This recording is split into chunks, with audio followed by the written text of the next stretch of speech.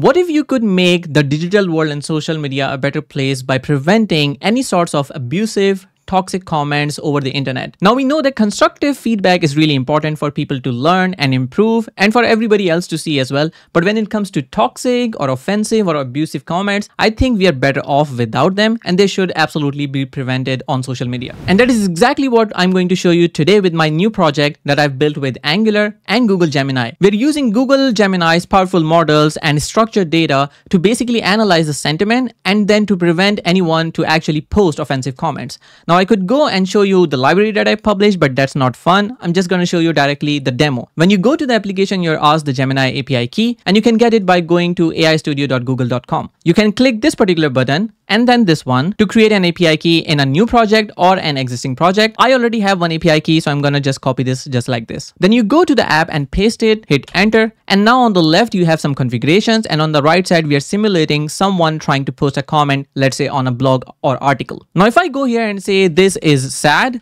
this is going to understand using Gemini and we get back the sentiment that's right here.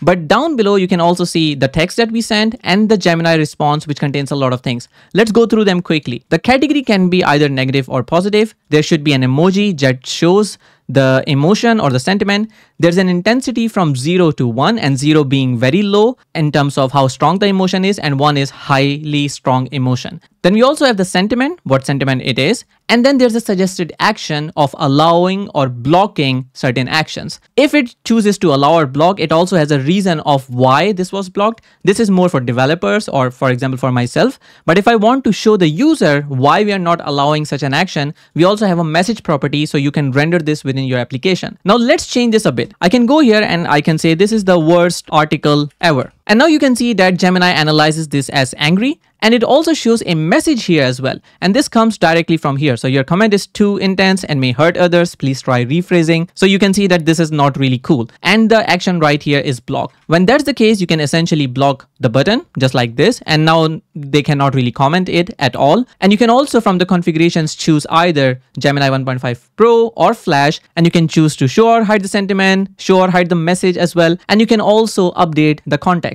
Now I want to show you that this whole library is set up in a way that is very generic to analyze sentiment. But if you want, you can provide more context. Right now, we are in the context of commenting, but let's say if I remove the context completely, then what would happen? In this particular case, Gemini still analyzes this as an angry sentiment, but it does not say that the action is to block in this case because Gemini doesn't have any idea on what constraints should it allow or block an action, for example. Let's say the user tries to rephrase this now. For example, we can say this was not too understandable. Can you update it to be more clear, for example? And here you can see that this identifies as constructive and here you can see the whole response as well. Super cool. But if someone tries to say you stupid, you know what will happen. In this case, this is toxic and won't be allowed at all. So there you go. With Google Gemini, you can already make social media and the digital world a better place by using sentiment analysis. You can either use the library that I created or build your own with AI Studio